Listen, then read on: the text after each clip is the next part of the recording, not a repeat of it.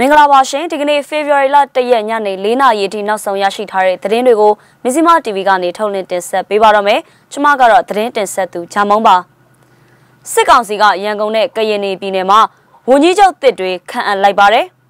လက်ပွတ်တာမြို့မှာတဦးကို2000ကျပ်ပေးမယ်ဆိုပြီးတက်ထောက်ခံပွဲအတွက်ခေါ်နေပါတယ်ဟုံးမလေးမြို့ပေါ်မှာတက်ထောက်ခံသူတွေကလွဲပြီးလူသူကင်းမဲ့နေတဲ့အကြောင်းနဲ့ မြောင်မြို့နယ်ပြည်သူ့ကာကွယ်ရေးအထူးတပ်ဖွဲ့ဝင်တွေရဲ့ Silent Strike နဲ့အမှားစကားရုပ်သံကိုလည်းတင်ဆက်ပေးပါမယ်ရှင်။စစ်အာဏာသိမ်းမှုတစ်နှစ်ပြည့်တဲ့အချိန်မှာစစ်ကောင်စီက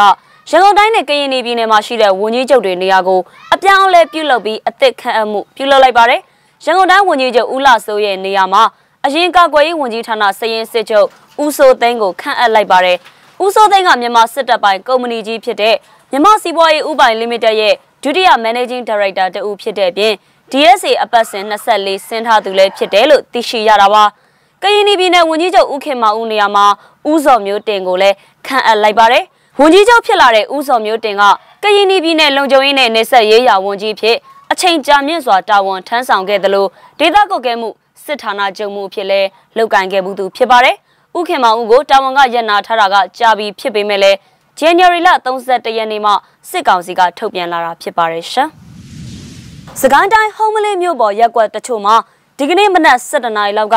လူတချို့တက်ထောက်ခံပွဲပြုလုပ်ပြီးစီတန်းလှည့်လည်ခဲ့ကြပါတယ်။စစ်အာဏာသိမ်းမှုတစ်နှစ်ပြည့်နေ့မှာပြည်သူတွေကတိတ်ဆိတ်ငြိမ်သက်ခြင်းတပိတ် Silent Strike ကိုတညီတညွတ်တည်းပြုလုပ်နေတာကြောင့်မြို့ရင်းလမ်းတွေပေါ်မှာလူသူကင်းမဲ့နေတာပါ။အဲ့ဒီချိန်တက်ထောက်ခံသူအင်အား40ဝန်းကျင်လောက်ကဟုံးမလေးမြို့ ခိုပဲဝရက်ကွက်အထက်ကနှစ်ကျောင်းရှိမှာစုရက်လုပ်ပြီးစစ်ကောင်စီတပ်သားတချို့ရဲ့လုံခြုံရေးပေးမှုနဲ့လှည့်လည်နေတဲ့ကြောင်းမြို့နယ်ပြည်သူတအုပ်စီကနေသိရပါဗျ။မောင်းခမ်းရွာနဲ့ကောရရွာကိုကိုဗစ်ကာကွယ်ဆေးထိုးခြင်းသူတွေလာခဲ့ဆိုပြီးခေါ်တယ်။အဲ့ဒါပြင်စစ်မှုထမ်းဟောင်းတွေကိုတအိမ်တယောက်ခေါ်တယ်။ရက်ကွက်တချို့ကိုလည်းနေစားပေးပြီးခေါ်တယ်။အဲ့လိုနီလန်းအသွဲသွဲနဲ့လူစုလိုက်တာလူ40ကျော်လောက်နဲ့တက်ထောက်ခံပွဲဖြစ်သွားတယ်လို့သိရတယ်ဆိုပြီးသူကပြန်ပြောပြတာပါ။ဒီကနေ့ပြုလုပ်တဲ့ Silent Strike တပိတ်ကိုအာရုံပြက်ပြဲအောင် လွန်ခဲ့တဲ့ရက်တွေကတည်းကစစ်ကောင်စီကနီလန်မျိုးစုံတုံးပြီးတားဆီးမှုတွေလည်းပြုလုပ်ခဲ့တာအားလုံးအသိပဲဖြစ်ပါတယ်။အဲ့ဒီတက်ထောက်ခံသူတွေကဟုံးလင်းမြို့ခိုပဲဝရက်ကွက်ကနေစတင်ထွက်ခွာလာပြီးနောင်ပကျစ်ရက်ကွက်နဲ့ဒငင်းကုန်းရက်ကွက်တွေကိုပါလှည့်ပတ်ချီတက်ခဲ့ကြတာဖြစ်ပါတယ်။ဒါပေမဲ့ဟုံးမလေးမြို့ပေါ်မှာတော့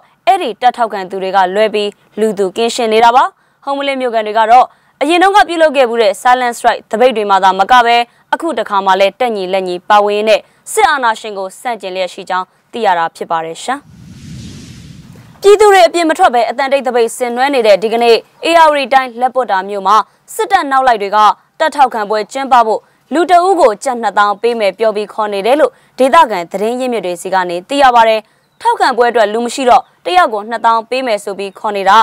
ဇော်လက်ဆိုတဲ့ကောင်ဥဆောင်ပြီးလိုက်ခေါ်တာမလိုက်ကြပါဘူး သူတို့အပေါ်ကလှုပ်သမျှအောက်မှာကသေပေးနေရတယ်လို့တက်ထောက်ခံသူတွေကအစပြောနေပြီလို့မြို့ကန်တအုပ်ကပြန်ပြောပါတယ်စစ်တပ်နောက်လိုက်တွေကရတနာဒီပဘောလုံးကွင်းနဲ့တက်ထောက်ခံပွဲပြုလုပ်ဖို့ပြင်ဆင်နေတာဖြစ်ပါတယ်ဒါပေမဲ့လာရောက်သူနှဲပါနေတာကြောင့်ပွဲမဆနိုင်ပဲဖြစ်နေတာပါအာနာသိမ့်မှုတစ်နှစ်ပြည့်ဖြစ်တဲ့ဒီကနေ့မှာ Silent Strike ပြုလုပ်နေတာဖြစ်လို့လက်ပွတ်တာမျိုးရဲ့လူအစီကားဆုံးဖြစ်တဲ့နေရာတွေမှာပါ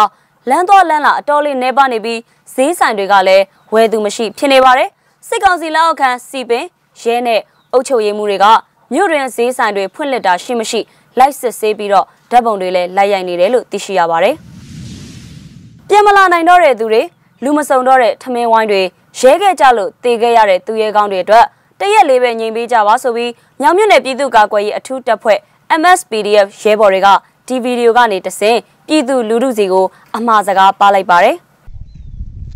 ပြန်မလာနိုင်တော့တဲ့သူတွေလူမစုံတော့တဲ့မိသားစုထမင်းဝိုင်းတွေ ရဲခဲ့ကြလို့တေခဲ့ရတဲ့သူရဲကောင်းတွေအတွက်တရက်ကလေးပဲငြိမ်ပေးကြပါ